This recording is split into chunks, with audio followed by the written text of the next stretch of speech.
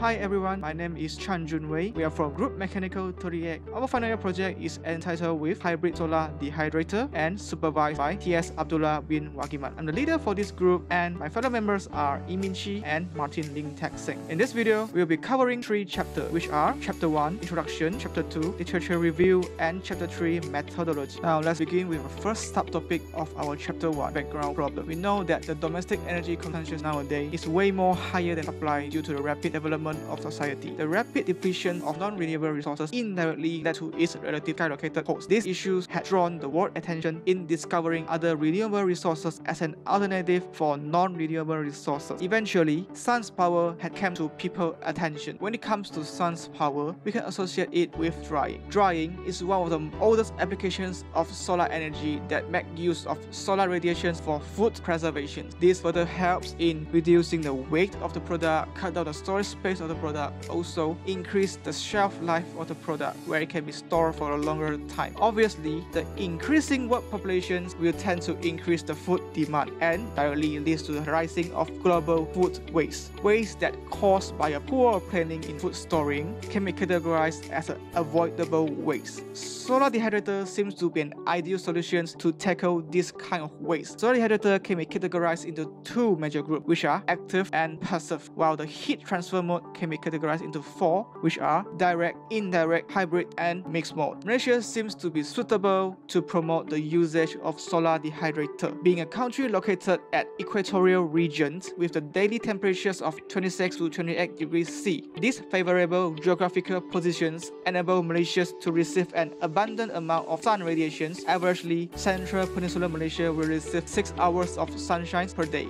Hello, my name is Martin. I would like to share some problems with the designs of other researchers that need to be improved. The first one is the design from Gujarat Technological University in India. The solar dehydrator is fabricated by using unsuitable casting material which is wood because it is cheaper. But wood is not suitable for the solar dehydrator because wood is not resistant to dampness and might rot. To solve the problem, we suggest using aluminum plate to replace the wood as it is more durable and not susceptible to the insect damage. Next is the design from Amateur. This solar dehydrator is designed with a chimney to allow the heated gases from flowing out. But this might bring to the hygiene issues as we know that the air surroundings consist of many impurities, but the chimney design didn't cover which might cause the impurities to flow into the chamber. To solve the problem, we suggest enclosing the chimney without affecting the air circulation. The last design is from Caversham University. This design promotes solar wind ventilation to enhance air circulation but we think that it is not suitable to be used in our country due to its unstable wind flow. Other than that, it also takes up a lot of space. So, we suggest installing a DC blower fan using solar energy to replace the suction fan operated by wind energy for constant air flow rate. Hi, good day. My name is Ee Min Ci and I'm going to present about objective, scope, and expected result. There are three objectives stated in our project. The first one is to identify the user requirement of publics toward household dehydrator. The second one is to design a simple household hybrid solar dehydrator. The third one is to produce the model of hybrid solar dehydrator.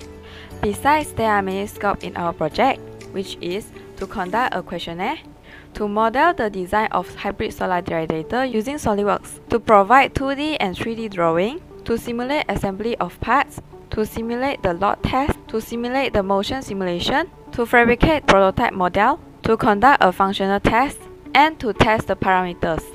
For the part expected result, this project will design, develop, and fabricate a well-functioning hybrid food dehydrator by utilizing the solar energy. Besides, it is also used the solar panel to generate electricity. The expected time taken for the food to be dried will be ranging from 6 to 16 hours. The body of the dehydrator will be bulky as the installation of the heat collector requires a large space to absorb the sun heat. Now I would like to explain a little bit about the four types of system for solar dehydrators. First of all is the direct type. As its name shows, these types of dehydrator will expose the products directly to the sun. During the drying process, the product will be placed on a black surface that acts as a good heat absorber in a transparent enclosed container and the product can be dried either by absorbing the solar heat itself or by the heat air or both. Next is the indirect type indirect solar dehydrator. This type of dehydrator consists of a drying chambers that hides the product from being directly exposed to the sunlight. To dry the product, a solar collector is installed at the side of the drying chamber to collect it and heat the air and pass it to the drying chamber to remove the moisture in it and bring the moisture out together through the chimney above. The third type is a mixed mode solar dehydrator that is a passive system and the combination of the above two types of dehydrators. The solar heat is absorbed by the inside black panel collector and heats the air in the collector, so the dehydration process is carried out by both directing solar radiation on the product and also the heat air at the same time. This is the hybrid type of solar dehydrator. In this solar dehydrator, there are other technologies used other than the solar heat. The dehydrator is made up of a solar collector and a heat exchanger that can store heat energy in a drying chamber. In the daytime, it functions as the dehydrator above, but at the same time, collects heat energy as a backup in heat energy that can be used after sunshine hours. This kind of dehydrator can be pro can produce a better quality product in a shorter drying time compared to the traditional drying method.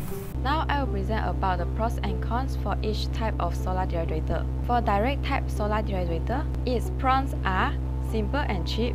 It can avoid the product from being contaminated by dirt, dust, bacteria, and damaged by animals. And it is also offer protection from rains, dews, and debris because of the presence of the enclosure. In the flip side, time required is long. The quality of the product is poor due to the direct solar radiation on the product and the drying efficiency is always different in every situation because it is depends on the climatic conditions. Next, for indirect type solar dehydrator, it has higher drying rate, lower moisture content, and better quality product compared with the direct type solar dehydrator. Besides, the product is protected from direct solar radiation and it can also prevent the product from being contaminated by dust, dirt, bacteria, and damaged by animals.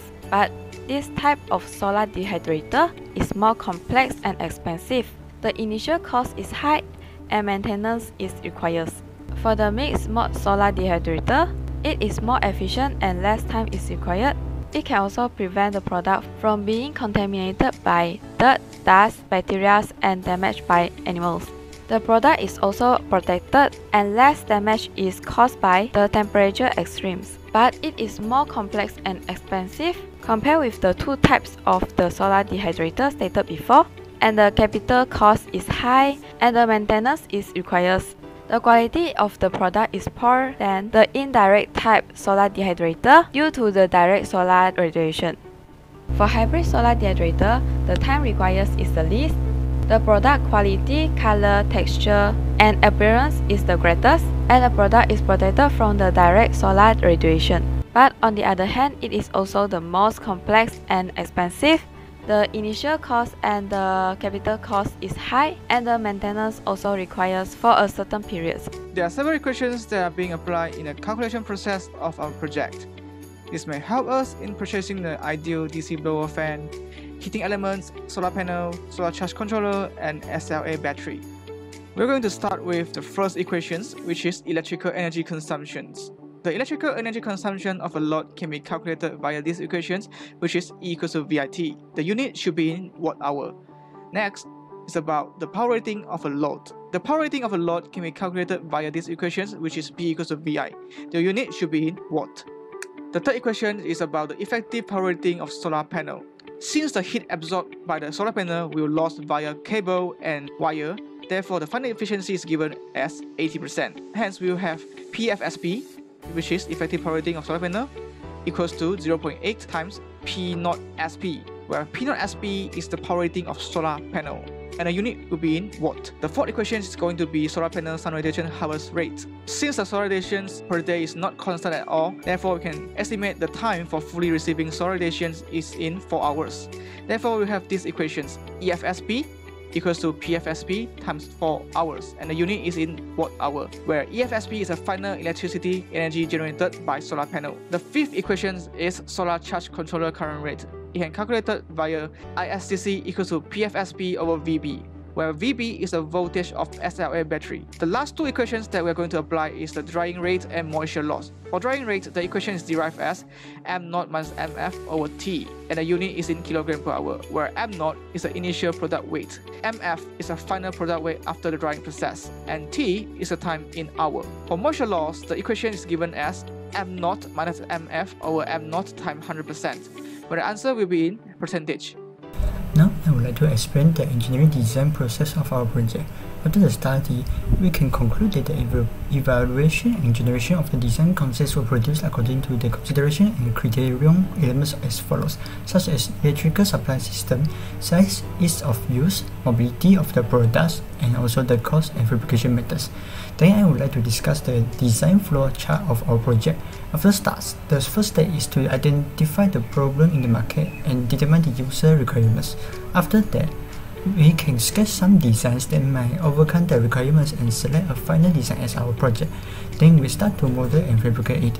After finishing, we need to test the model to make sure that it can function well. If not, we need to remodel and refabricate it again. In order to collect user requirement towards our household dehydrator, a survey was conducted where a questionnaire form was created via Google Form. The shortened URL of this questionnaire form was shared to our friends families and public randomly to be filled up. The survey conducted is helpful in providing ideas for the product design process. The product description was attached to this survey form to explain the initial concept of our product. The questionnaire form consists of 8 questions and the results obtained were interpreted as follows. The first questions that we asked to our respondents is about the overall reactions to the described product. Luckily, majority of our respondents thinks that the described product is excellent or good. The second questions that we asked is about how interested would the respondents be in using the described products. Obviously, we can see that majority of our respondents are very interested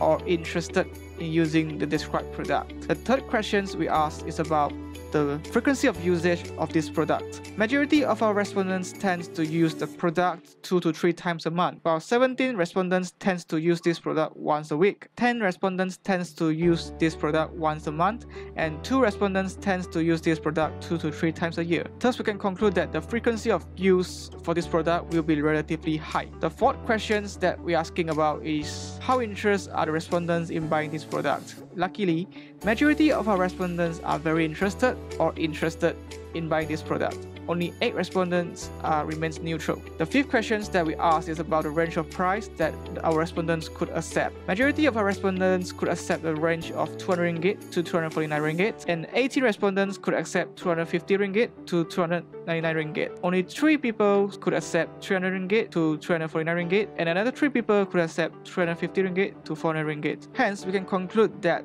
majority of our respondents could accept a range of 200 ringgit to 249 ringgit for the price of this product. The six questions that we are asking about the electrical supply system for blower. Majority of our respondents prefer to use a solar panel to produce electricity and supply the electricity for blower rather than fully rely on power supply. The seven questions we're asking about drying chamber size that our respondents prefer.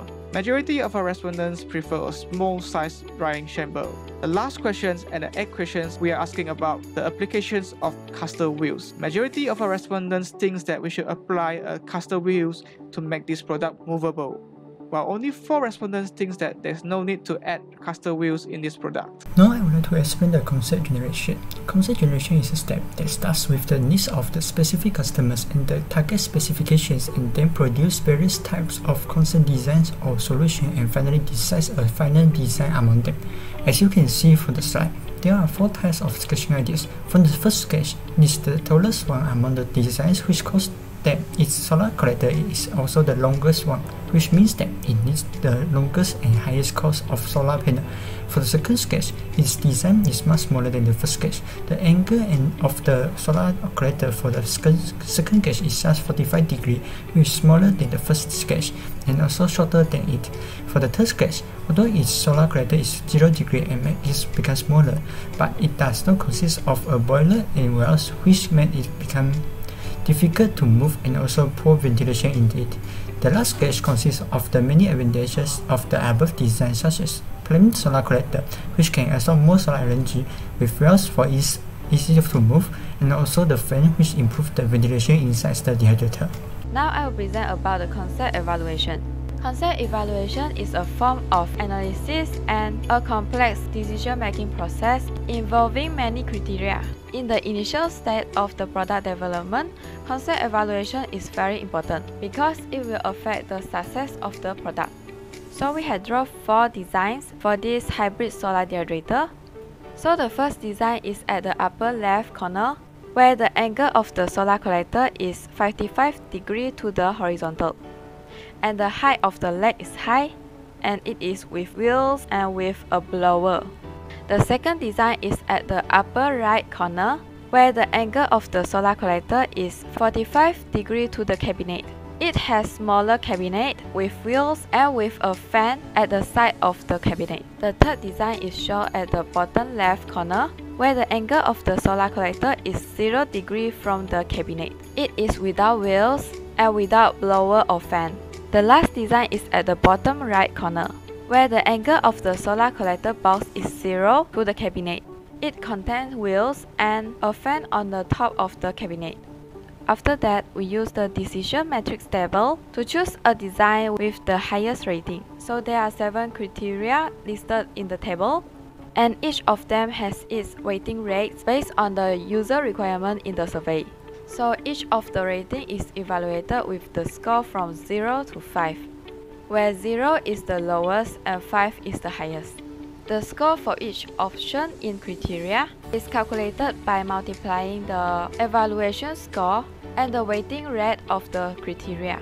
After that, the total score is gained by adding all the score for each options. So based on the decision matrix table, option 4 received the highest total score and it was approved for the further design process. So that's all from me. Thank you.